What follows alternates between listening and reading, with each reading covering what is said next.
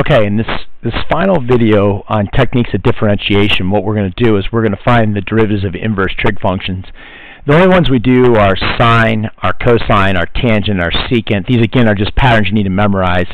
Sine is 1 over the square root of 1 minus u squared times du dx. I just generalized it to include any function u.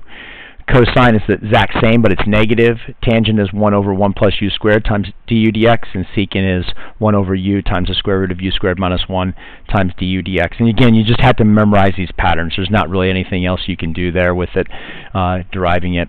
Um, so in our first one, we have the inverse sine of 1 third x, so y prime.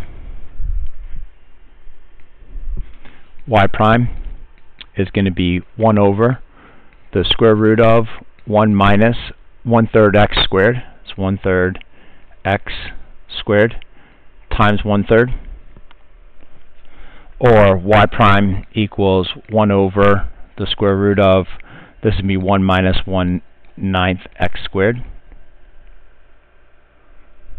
Uh, put a 3 out in front of that for that one third.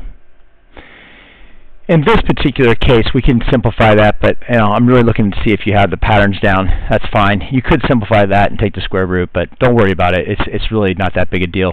Just know if you have the patterns down there. We can also combine it with other things like product rule or quotient rule or whatever. So here we have inverse cosine of 3x times x squared.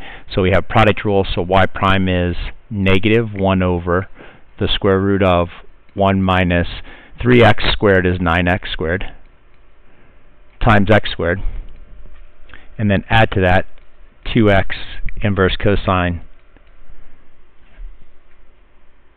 Uh, I missed something, but I can go back. Inverse cosine of 3x. What I missed was I forgot to multiply this by the derivative of 3x, which is 3.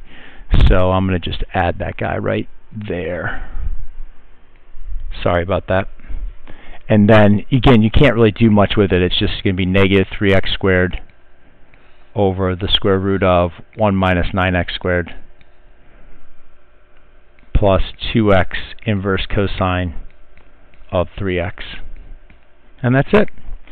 So all these different techniques of differentiation, um, finding the different tech, finding the different derivatives, memorizing all of this, putting it all together, and we just do lots and lots and lots and lots of practice and problems and lots of different simplifying and algebra. Make sure you get all those questions answered that you're not sure about before you uh, go into the test. Best of luck. See you in class.